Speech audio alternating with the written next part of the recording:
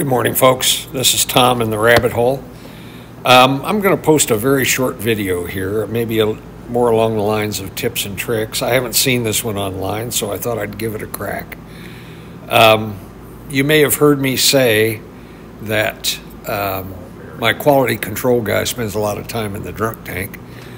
Um, so I've had to kind of make do with my own uh, setup and I've never really had a good way of predicting the actual best center distance for a pair of gears.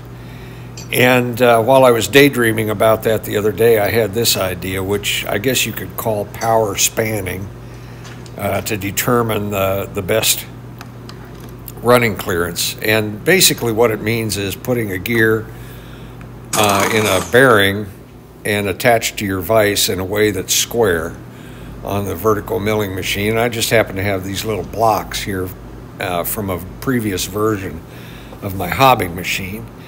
And then uh, you find the center of that, uh, that shaft. Um, and you can do that in a lot of different ways. You can use a wiggler, I guess, or a Heim gauge, which I've got.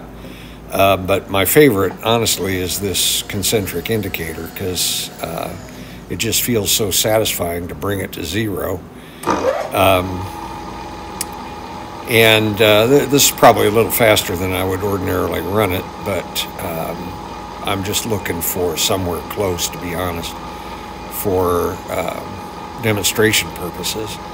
So you're looking to find the zero, and uh, and that looks pretty good. That's within a half half a thou TIR. Then you zero the x-axis on your uh, DRO or zero your dial indicator, I guess, if that's the way you're doing it. Then in this case, I just had a solid arbor uh, that was the right diameter for my gear, um, just by chance. And I, uh, you put that in the machine, and then put the gears in mesh. And then what you'll hear when I stop talking here, what you'll hear is me starting the machine and then advancing the, the gear on the right into the mesh to tighten it up. And you can hear when it gets noisy, and you can hear uh, when it stops being noisy.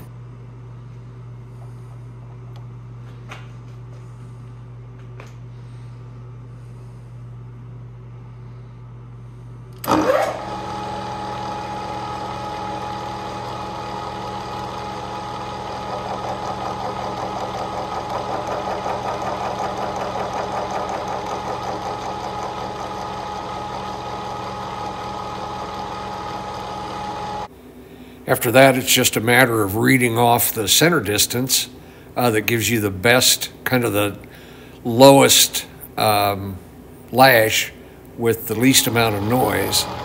And in this case, that was about 10 thou more than the theoretical center distance. So, um, so this was a good experiment for me and a useful way that I'll use in the future.